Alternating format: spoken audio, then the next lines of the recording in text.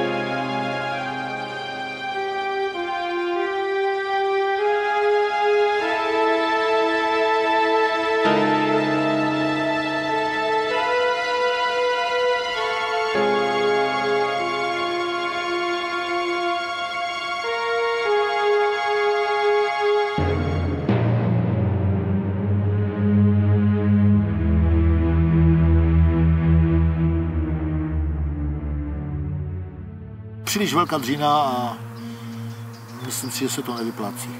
Nebo aspoň té naší generace se to určitě nevyplatilo.